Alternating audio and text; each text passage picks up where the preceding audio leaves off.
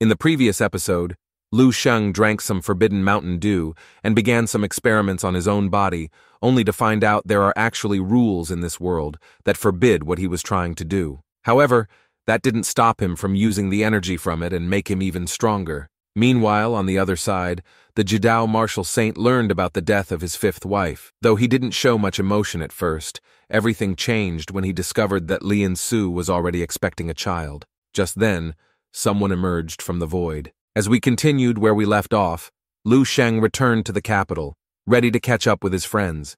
At a bustling cafe, he sat across from Lin Zhe and Yang, the three of them chatting casually. Lin Zhe, visibly excited, urged Lu Sheng to describe what the caverns were like. Yang, holding her cup, also seemed eager to know as well. Lu Sheng smiled and began recounting most of what he's been through, the places he went, and the stuff he saw. Lin Zhe kept throwing out all sorts of strange and curious questions, and Lu Sheng patiently answered each one. Yang, on the other hand, stayed silent, quietly sipping her drink and listening intently to their conversation. Lu Sheng noticed how much had changed in the past six months. Lin Zhe got so much tanner, grew a couple more inches, and was much more muscular, proof that he had been working hard on his martial arts training. Yang hadn't changed much in appearance, but she seemed more mature now. Lin Zhe, amazed, couldn't believe that humans could transform into beasts, and exclaimed how incredible Lu Sheng's experiences were. Yang, meanwhile, quietly thought to herself that Lu Sheng had definitely grown stronger. Time flew by, and before they knew it, their drinks were finished. They decided to grab a meal together. Lin Zhe suggested a barbecue place he knew, and Yang naturally agreed. Just as they were about to leave, Lu Sheng suddenly frowned, a sense of unease washing over him. Noticing his expression, Lin Zhe and Yang grew worried and quickly asked him what was wrong. Lu Sheng didn't respond right away, which made them even more anxious. After a moment, he took a deep breath and apologized saying there was something urgent he needed to take care of. He told them he couldn't join them this time, but promised to catch up with them again soon. Without waiting for their reaction, he turned and walked off. Lin Zhe let out a sigh, lamenting how hard it had become to share a meal with Lu Sheng, reminiscing about the good old days when they used to eat together at the university cafeteria. Yang, on the other hand, stared blankly in the direction Lu Sheng had disappeared, quietly worrying about whether something serious had happened. The scene then shifted to our boy, who was sprinting through the busy streets, cold sweat dripping from his forehead. Before long, he reached the outskirts of the city, slowed his pace, and walked into a park. Despite the cheerful sight of families picnicking around him, he had no interest in paying attention. Instead, he found a bench under a large tree and sat down. Even now, the thirteen immortal cells continued to tremble violently, flashing in a way he had never experienced before. A sense of crisis like no other repeatedly surged through his mind, growing stronger by the moment. Why was this happening? Lu Sheng closed his eyes, filled with questions, and entered his dream realm. He sought out a quiet corner and instructed Ai Yi to pull up his personal info. As the information began to load, everything initially seemed normal, but soon he noticed something alarming. At first glance, his heart sank. His profile picture wasn't the usual elderly version of himself.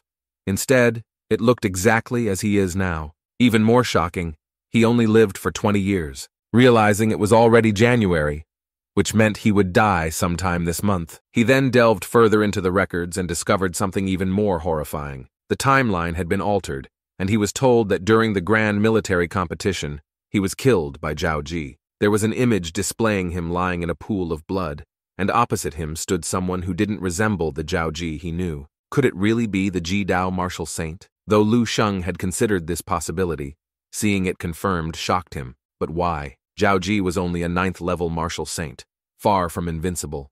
Even if Lu Sheng couldn't defeat him at his current strength, outright getting killed seemed impossible, especially with the military backing him up. Without solid evidence, Zhao Ji wouldn't dare make a move. So where had things gone wrong? The records offered no details, leaving Lu Sheng to wonder if Lian Su truly held such importance to Zhao Ji. If that were the case, why did Zhao Ji compromise the first time? His mind raced, trying to piece together the puzzle. After all, in the previous Dream Realm records, Lian Su's death hadn't led to any significant incidents. But why was the future so drastically different now? On the outside, he just sat there lost in thought. Time flew by, and it was already evening, and later into the next morning, Lu Sheng remained in the same position. Days turned into three, and by then, leaves had piled up on his body. A young couple, who had been picnicking nearby earlier in the week, quickly noticed him. The girl, slightly spooked, tells her husband that the person they seen a couple of days ago was still sitting there. Could he be dead? The husband decided to check it out. He gently shook Lu Sheng's shoulder, causing some leaves to fall, and confirmed that Lu Sheng was still breathing. But why had he stayed in the same spot for so long? The husband guessed that he might have been emotionally shocked. Maybe a bad breakup? The girl, meanwhile, caught a glimpse of Lu Sheng's face and realized how strikingly handsome he was. She found it hard to believe someone like him could suffer from heartbreak. Suddenly, Lu Sheng's eyes snapped open. The man, startled but curious, asked him why he had been sitting there for several days. Lu Sheng's voice was dry as he replied that he had been stuck on something, one he just couldn't figure out. Seeing that Lu Sheng was fine, the couple felt relieved. The man sat beside him with a grin and said, If he doesn't mind, why don't tell him what's going on? The girl stepped away, giving them some space. Lu Sheng stayed silent for a moment before saying there was something he planned meticulously. Something he even took to the most authoritative experts to conduct repeated tests, and all got the same result. He took a deep breath and followed up saying, And yet, in the end, the result still turned out differently. The young man lit a cigarette, assuming this wasn't about heartbreak, and commented with a chuckle saying, Well, if it's an accident, then it's normal. Life's full of surprises. Lu Sheng shook his head and explained that he verified it with the best. The tests all said no surprises could happen. The man exhaled a puff of smoke, waggling a finger believing then that just meant his so-called experts weren't as reliable as he thought. Heck, maybe they're even frauds. Lu Sheng froze, the words striking him. The man, sensing he had Lu Sheng's attention, went on telling him that life is full of things that don't go as planned. Nine out of ten times, things will turn out differently.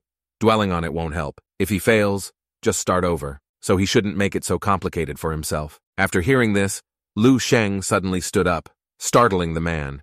He tells the man that he's right, and he's making it too complicated for himself. There's no such thing as a guaranteed outcome in this world. With that, he thanked the man and dashed off. The man, cigarette still dangling from his lips, watched Lu Sheng's sudden burst of energy and muttered, Oof, youngster's always full of energy.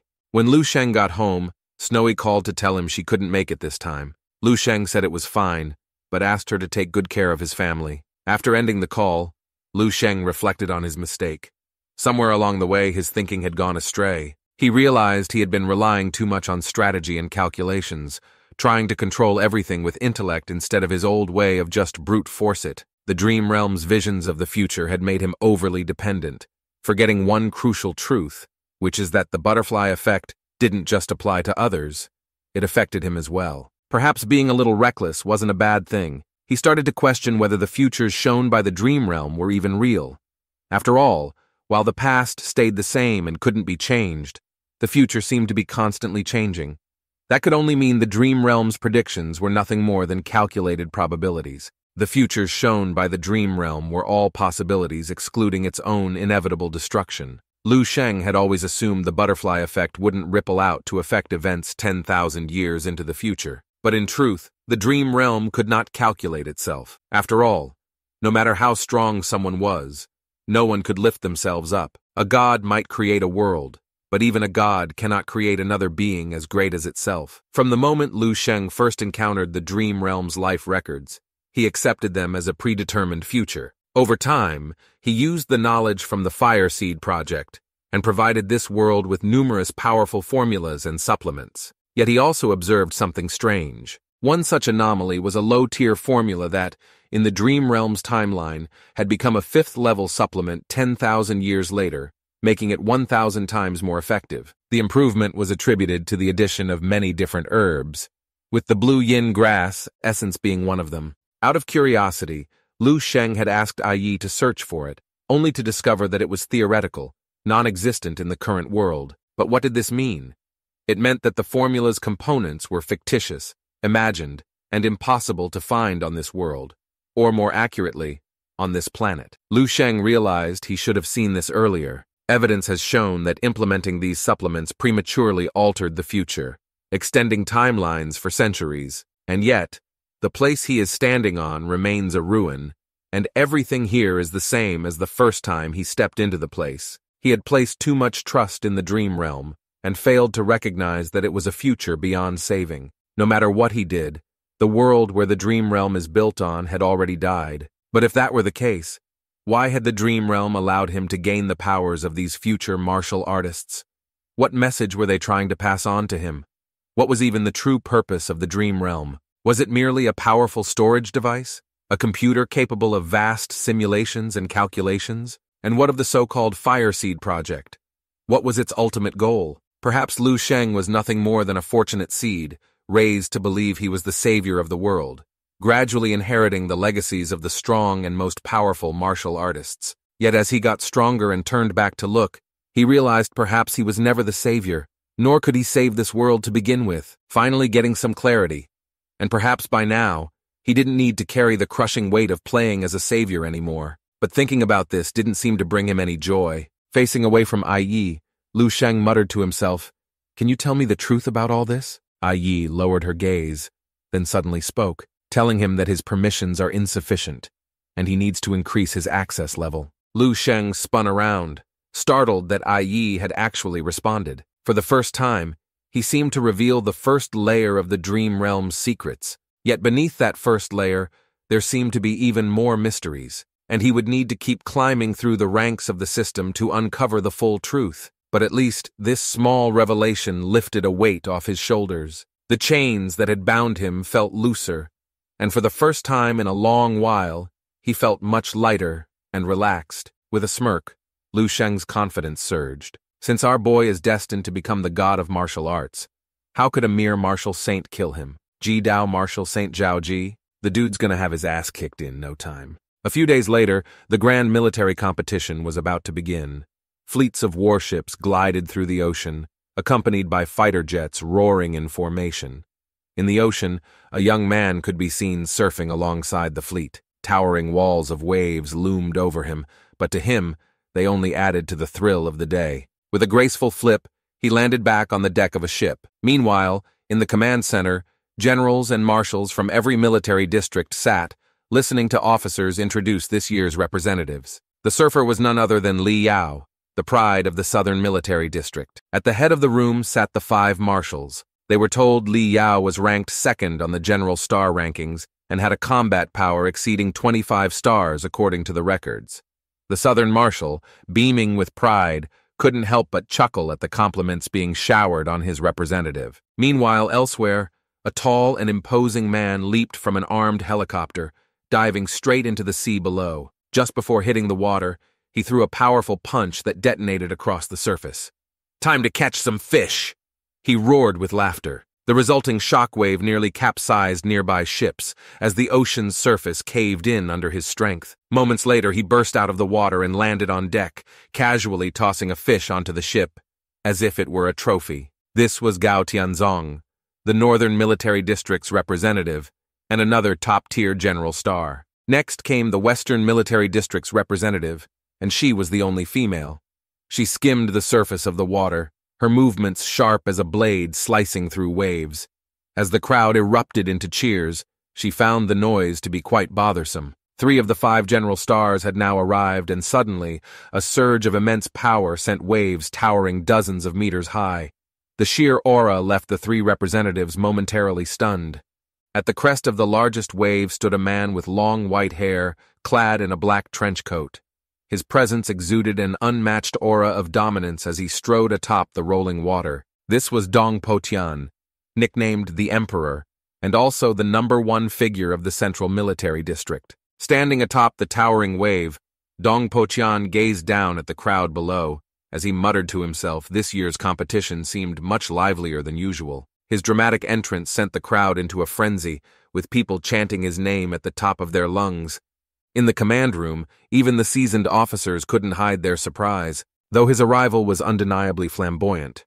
There was no question that Dong Potian possessed the qualifications and strength of a true top general.